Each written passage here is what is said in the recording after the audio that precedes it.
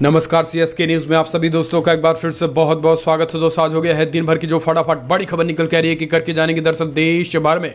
संक्रमितों के आंकड़े के बारे में लाइव स्टेटस आपको बताएँगे, लेकिन इस बीच आपको बता दें कि वित्त मंत्री निर्मला सीतारमण ने प्रवासी मजदूर, किसान और स्ट्रीट वेंडर के लिए नौ ऐलान किए हैं। उसके बारे में भी बताएँगे आखिर क्या किसानों के लिए ऐलान किया इस बीच अगली बिग ब्रेकिंग पश्चिम बंगाल में हालात बेकाबू हुए, तनाव पर माहौल और इंटरनेट की सेवाएँ। सत्रह मई तक बंद कर दी गई, जहाँ पश्चिम बंगाल में मुख्यमंत्री ममता बनर्जी के हाथ से निकल गया है। पश्चिम बंगाल, उसके बारे में भी आपको बताएँगे, लेकिन इससे पहले बड़ी खबर जानेंगे, जहाँ पर नेतन्याहू पांचवी बार बन गए हैं। प्रधानमंत्री, जी हाँ, गठबंधन सरकार के नेता बने हैं।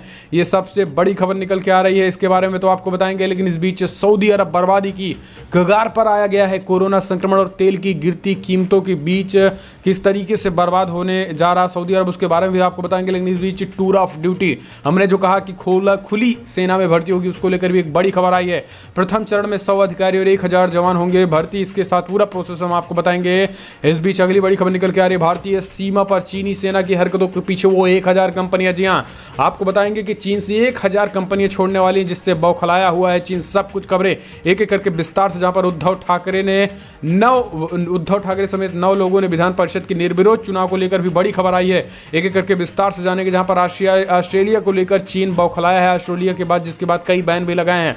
वो भी आपको बताएँगे, लेकिन उससे पहले छोटा सा निवेदन, अगर आपने चैनल को अभी तक सब्सक्राइब नहीं किया तो प्लीज़ सब्सक्राइब के लाल बटन दबाकर चैनल को सब्सक्राइब करें। और अगर आप भी मानते हैं कि पीएम मोदी के नेतृत्व में देश कोरोना को भी हराएगा और ये देश अर्थव्यवस्था को भी मज़बूत करेगा और अपने बॉर्डर को भी सिक्योर करेगा तो इस वीडियो को दिल से लाइक करके अपना समर्थन दस के दरअसल पहली बड़ी खबर निकल के आ रही है आपको बता दें देश भर में संक्रमितों का आंकड़ा हुआ अठहत्तर हज़ार को पार। जी हाँ अब तक अठहत्तर हज़ार आठ सौ उनतीस मामले सामने आ चुके हैं। आपको बता दें कि आज दिल्ली में चार सौ बहत्तर मामले आए हैं।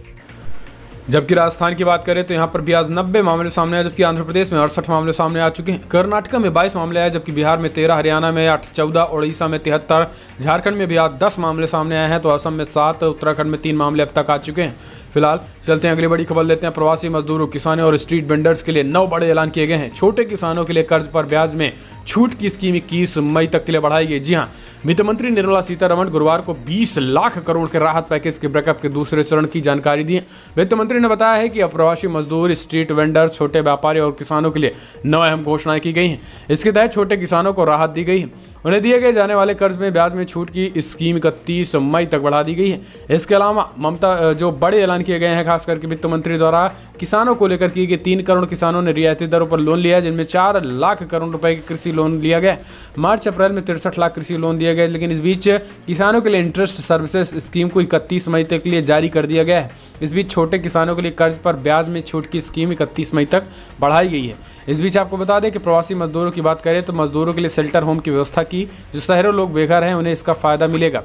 लेकिन इस बीच बड़ी खबर यह है कि अब मनरेगा के तहत मजदूरी एक सौ से बढ़ाकर दो सौ कर दी गई है। इस बीच जो प्रवासी मजदूर घर जा रहे हैं, उनकी खास करके काम की व्यवस्था अब उनके ग्राम पंचायत से लेकर उनके ज़िले में ही की जाएगी। तो ये एक बड़े पैमाने पर सभी राज्यों को दिशा निर्देशित किया गया है। मजदूरों को कि सभी राज्य मजदूरों को नौकरियाँ दें, यानी उनको असंगठित क्षेत्र में कार्य दें, किसी भी तरीके से उनको घर ना बैठने दिया जाए।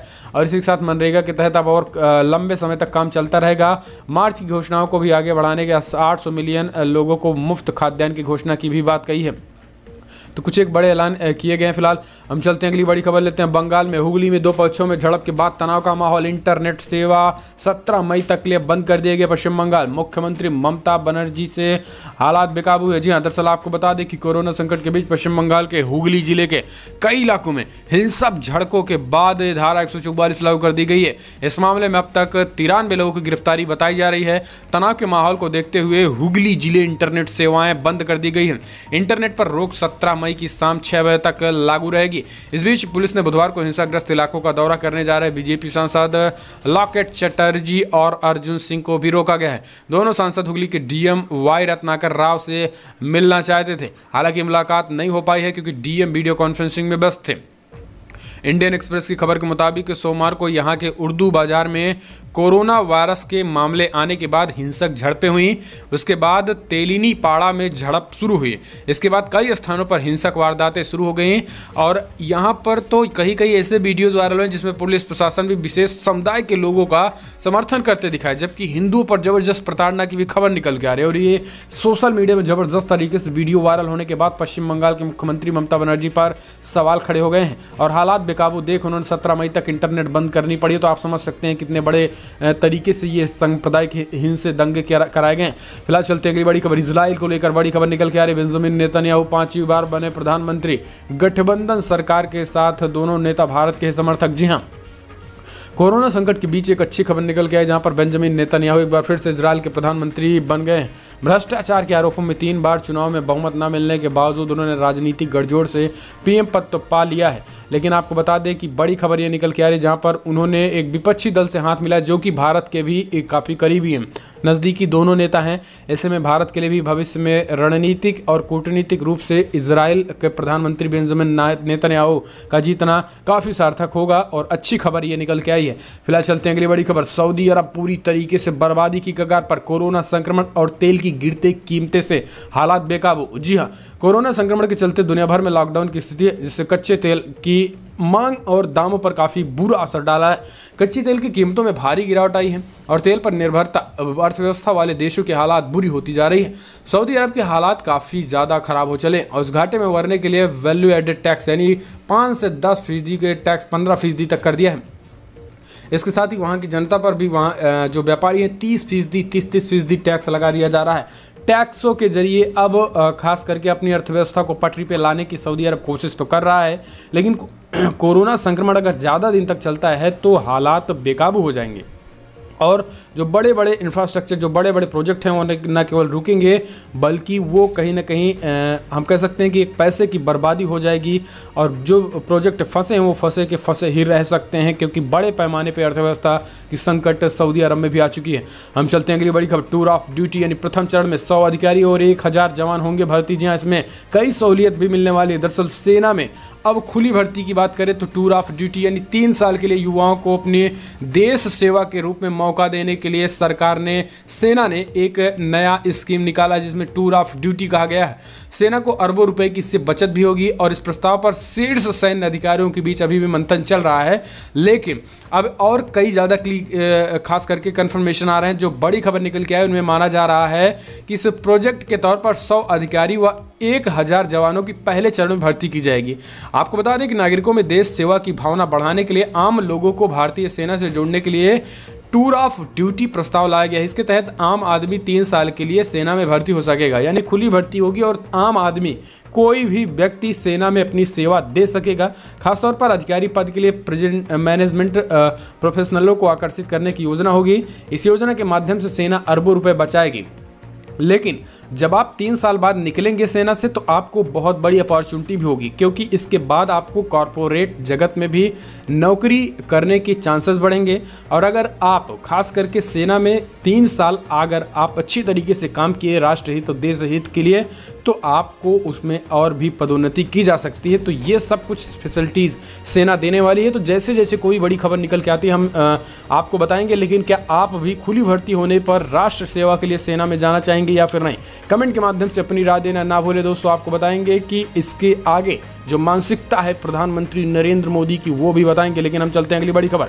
भारतीय सीमा पर चीनी सेना की हरकतों के पीछे है एक हज़ार कंपनियाँ, जो कि अब चीन की हाथ से फिसलती दिखाई दे रही जी हाँ आपको बता दें कि जानकारों का मानना है कि जिस तरीके से चीनी चीनी सैनिकों ने भारतीय सीमा पर जो हरकतें कर रहा है, उसके पीछे उसकी बौखलाहट है। दरअसल पूरी दुनिया में उसकी साख डैमेज हो चुकी है। कुछ लोगों का कहना था कि पीओके को लेकर हो रहा है, लेकिन दरअसल ये पीओके के लिए, पीओके को लेकर नहीं है। ये तो है वो बौखलाहट जो एक हज़ार कंपनियाँ चीन से भारत आने वाली हैं।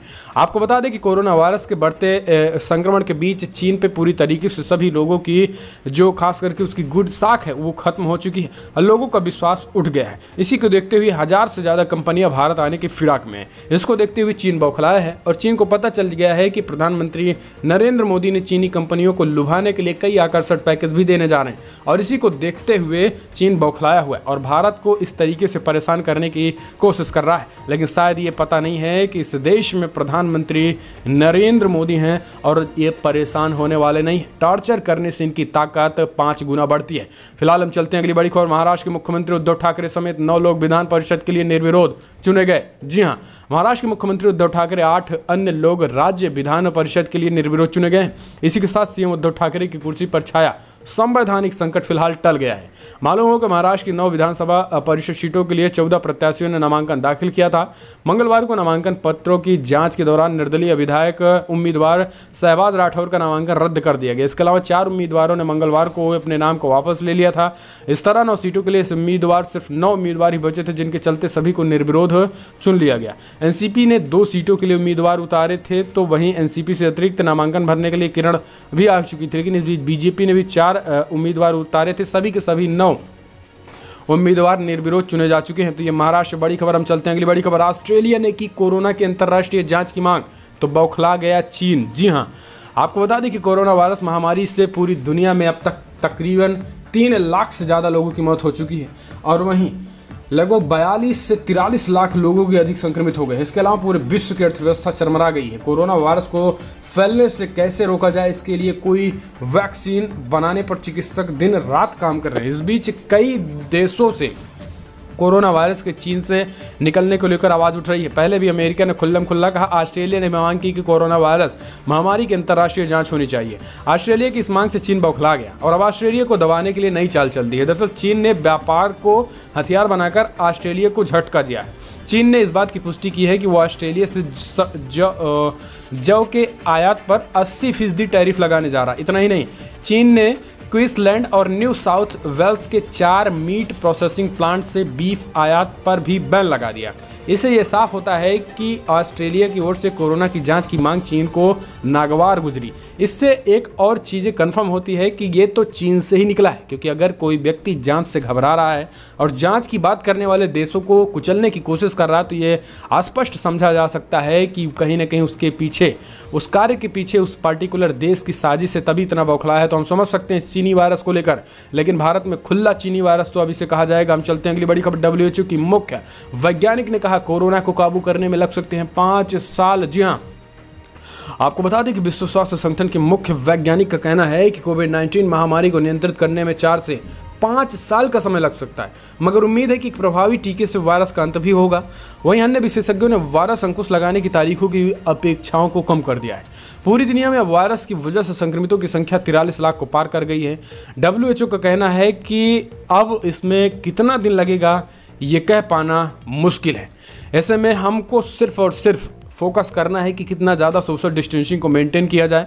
और मास्क लगाकर ज़्यादातर निकले, क्योंकि एक रिपोर्ट में खुलासा हुआ है कि मास्क लगाने से कोरोना संक्रमण बिल्कुल ना के बराबर फैलता है। तो आप घर से निकले तो मास्क लगा कर निकलें, न कि अपने लिए, बल्कि पूरे परिवार के लिए और इस देश के लिए। हम चलते हैं अगली बड़ी खबर अप्रैल में। थोक महँगाई दर में गिरावट, इन चीज़ों की कीमतों में आई ज़बरदस्त कमी। जी हाँ आपको बता दें कि एक अच्छी खबर आई भारत के लिए, जहाँ पर खास करके थोक मूल्यांकन सूचकांक पर आधारित मुद्रास्फीति के आंकड़े जारी किए गए।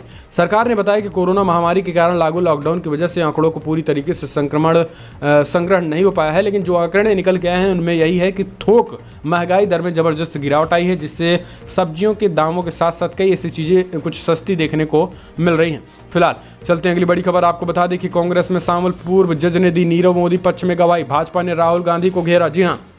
बड़ा खुलासा हुआ दरअसल भगोड़े हीरा कारोबारी नीरव मोदी के प्रत्यर्पण पर लंदन की एक अदालत में चल रही सुनवाई को लेकर सियासत तेज होती जा रही। दरअसल मामले में कांग्रेस में शामिल बंबई और इलाहाबाद हाईकोर्ट के पूर्व जज अभय थिप्से की नीरव मोदी के पक्ष में गवाही देने से तूल पकड़ा है। भाजपा ने इस मामले में कांग्रेस और राहुल गांधी को निशाना, निशाने पर लिया है। उनका कहना है कि आज कांग्रेस पार्टी नीरव मोदी को बचाते हैं और भारत में दूसरी तरीके से अफवाह फैलाते हैं तो कांग्रेस पार्टी पूरी तरीके से एक्सपोज हो गए हैं और बीजेपी ने इस पर जम जमकर निशाना साधा राहुल गांधी से सवाल पूछा है कि आखिर बताएँ कि नीरव मोदी को क्यों बचाया जा रहा है? तो ये एक बड़ी खबर निकल के आई है फ़िलहाल। हम चलते हैं अगली बड़ी खबर लेते हैं, जहाँ पर आपको बता दें कि बिग ब्रेकिंग न्यूज़ निकल के आ रही है, जहाँ पर राष्ट्रपति एक साल तक अपने वेतन का तीस फ़ीसदी हिस्सा करेंगे दान। सजावट और खाने के मेन्यू में भी कटौती की गई है। जी हाँ राष्ट्रपति रामनाथ कोविंद ने कोरोना संकट को देखते हुए अपने वेतन का तीस फ़ीसदी हिस्सा का एक साल दान देने का फैसला किया। मार्च का वेतन उन्होंने पूरा दान दे दिया था। इसके अलावा राष्ट्रपति भवन के अन्य खर्चों में भी कटौती की गई तो एक बड़ी खबर है, पीएम केयर में दान किया गया। फ़िलहाल बड़ी खबर में इतना लेकिन दुनिया भर के जो आंकड़े निकल के एक नज़र की बात करें तो अब तक तिरालीस लाख का आंकड़ा पार कर गया जी हाँ तिरालीस लाख सैंतालीस हज़ार लोग संक्रमित हो गए, जबकि मृतकों की संख्या दो लाख सत्तानवे हज़ार को पार कर गई है। करीब तीन लाख लोगों की मौत हो गई है, जबकि अमेरिका में चौदह लाख इक्कीस हज़ार कन्फर्म केसेज आ चुके हैं तो चौरासी हज़ार लोगों की मौत हो गई। स्पेन में भी दो लाख इकहत्तर हज़ार केसेस तो रसिया में भी ज़बरदस्त आंकड़े बढ़ रहे हैं, दो लाख बावन हज़ार हो गए हैं। यूनाइटेड किंगडम की बात करें तो दो लाख उनतीस हज़ार केसेज हैं, जबकि इटली में भी दो लाख बाईस हज़ार तो वहीं तुर्की में भी एक लाख तिरालीस हज़ार, जर्मनी में एक लाख चौहत्तर हज़ार मामले तो हैं ही हैं। तो फ़िलहाल बड़ी खबरों में इतना ही दोस्तों, लेकिन आपको बता दें कि आज क्या है? आज छत्रपति, छत्र संभाजी, छत्रपति संभाजी महाराज। जी हाँ मराठा साम्राज्य के एक हिंदू शेर की बात करें, जिन्होंने औरंगज़ेब से लोहा लिया और औरंगज़ेब की पूरी नींव हिला के रख दी। औरंगज़ेब का साम्राज्य तहस नहस कर दिया और जो जो कब्जा औरंगज़ेब में क्षेत्र में था, जो जिसने औरंगज़ेब कब्जा किया था, वो सब कुछ अपना, अपने कब्जे में ले लिया था, वो है मराठा खास करके छत्रपति संभाजी महाराज, जिसकी आज जन्म जयंती जिनकी है तो इनको दिल से हम नमन करते हैं। चौदह मई, सोलह सौ सत्तावन की इनके पैदा हुए थे तो इनके लिए नमन दिल से है दोस्तों। इसी के साथ बड़ी खबरों में इतना ही, लेकिन अगर आपको वीडियो पसंद आया तो लाइक करें, शेयर करें, कमेंट के माध्यम से अपनी याद देना ना भूले फ़िलहाल इस वीडियो में इतना जय हिंद, वंदे मातरम।